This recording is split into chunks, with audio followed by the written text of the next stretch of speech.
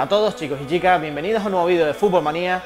Hoy os traemos un tutorial sobre cómo utilizar los tapes de manera correcta.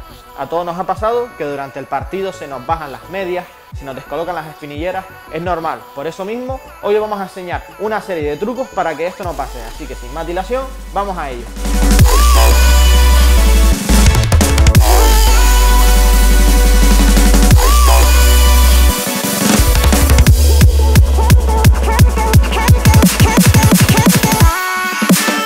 Vamos a empezar por la parte de los calcetines antideslizantes. Existen varios tipos, están True Socks, Night Grip. En nuestro caso vamos a utilizar True Socks, que para quien no lo conozca son unos calcetines que utilizan muchos jugadores profesionales como puede ser Luis Suárez, Bale, Messi, que incorporan una serie de paneles en la planta del pie, tanto por dentro como por fuera, y que nos dan un máximo agarre en la bota.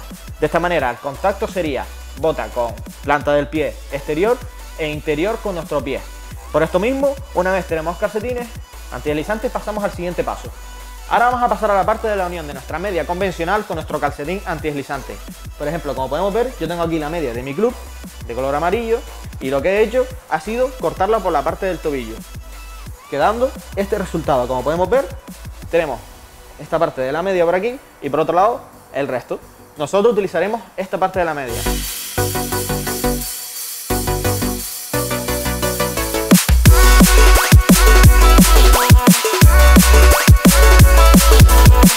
Una vez ya puesta la media, como podemos ver, queda este resultado. Tenemos calcetín antideslizante y el resto de la media, con la parte que hemos cortado. Ahora lo que falta es la unión.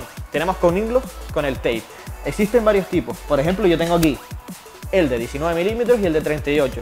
Yo principalmente suelo utilizar el de 38 y para la unión de calcetín antideslizante con la media, porque da mayor fijación y tiene mayor grosor. Por esto mismo, vamos a hacerlo.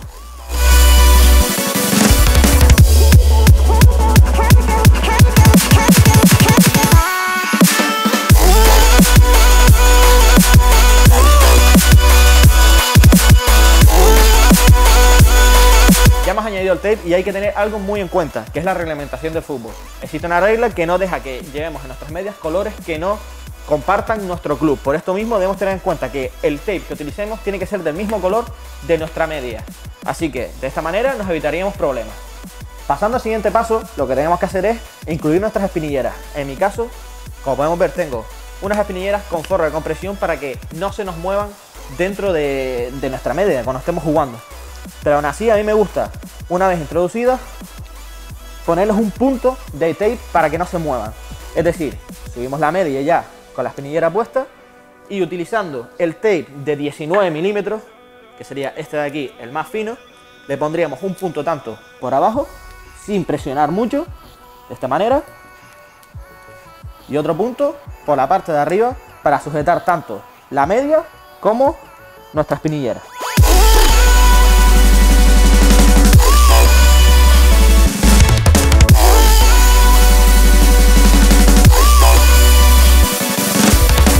Una vez hecho el método convencional, vamos a pasar a la alternativa que nos da Nike. Que en este caso, como podemos ver, tenemos una media preparada para utilizarla con nuestros calcetines antideslizantes. Lo único que tenemos que hacer es introducirla por esta parte, tal cual como lo hemos hecho con la media convencional, y ya tendríamos directamente la unión hecha.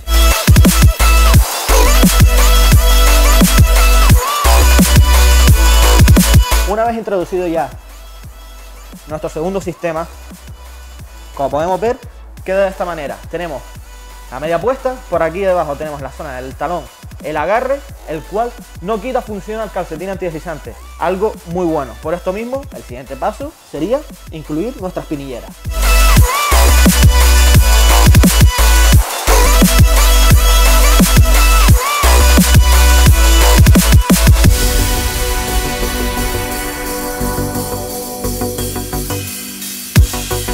Una vez ya incluidos los puntos de tape para que no se muevan nada, ni las medias ni las espinilleras, solo nos faltaría ponernos las botas y saltar al campo.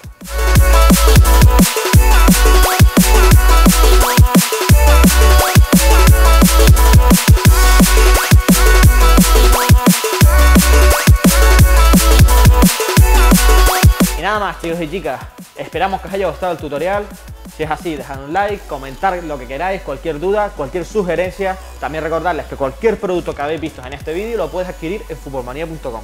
Muchísimas gracias a todos, un saludo y yo me voy, que tengo partido ahora.